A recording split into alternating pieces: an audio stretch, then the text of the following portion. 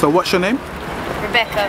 Rebecca. Yeah, And how long have you been out on the streets, Rebecca? five years now. Five years. Hmm. Where do you sleep? Um, it depends. There's a few places I can go.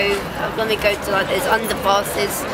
Um, there's one down over there behind the tree. There's a little pass over there basically, and there's two down there, and there's another one around the corner there. So, or I go to like the night shelter basically. If you can get the, the funds get the for it. twelve pound a night for it. Alright. And how hard is it to get twelve pounds out here? I've made two pounds a day so far sitting here. I've been here since lunchtime.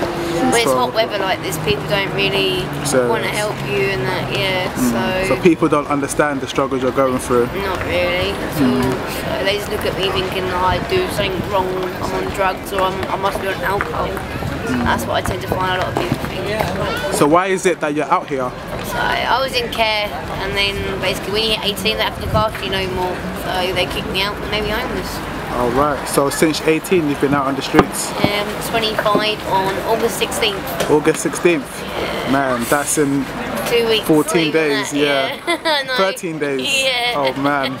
Oh, ah, so yeah, it'll my serious. birthday. So how come you put in care? Where's your parents? yeah, I don't know where my parents are. So they left you. Yeah. So the reason why you're on the streets is because your parents, who were supposed to look after you, left you, put you in care till you was 18, and then the care doesn't look after no one past 18 years old. So what did they do to help you get a job? Or no, I had a job, I had a job and everything, but I was living in a B&B at the time in Southampton. And then because I lost the B&B, I lost my job. So, Oh, right. because I had no address. So when you're homeless, you can't get a job, you need an address to get a job. Okay. So then, yeah, Argos, basically, I was working for Argos. So how come you couldn't get another B&B? So because I, I didn't have enough notice, basically I didn't get enough notice time to find a place. And So- then they all full up, and then, yeah, I lost it. So you just lost it. Shit out of bad luck. Yeah, basically. So what is the government doing to help people in your situation? They did come up with no second night out, but because originally when I was in Kent, I got moved around a lot. I'm not originally from London, so I have no local connection.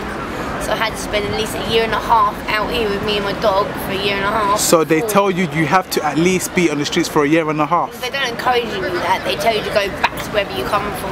To get The streets help. though. So basically, yeah. So, but if you stay here, then you're alright. Because I had nowhere to go. I could go back to Southampton. I've got nothing in Southampton, so I Yeah. come here basically. And how does it make you feel that people just walk past you, you know, hundreds and thousands of people a day and they don't even, you know, share no sympathy for you?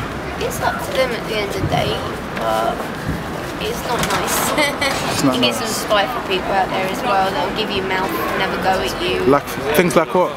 So I've been told that I should go kill myself. I've been told that basically I'm just a wrong'un and I'm a homeless tramp. Stuff like that. So So they're judging you without even knowing you. basically, mm. yeah. Have you ever felt like doing anything negative to yourself before? So a few times I've been depressed and that. So but I've got Buffy, so I'm lucky. So she keeps me going really. Mm. So, yeah. So if if someone was to offer you any form of help, what would you like right now? Just a way of getting like an address some kind of way or something like that. So it's anything. It's anything to help. It's not be judged. Give me that one chance. Give someone that chance, opportunity to show to them that they can.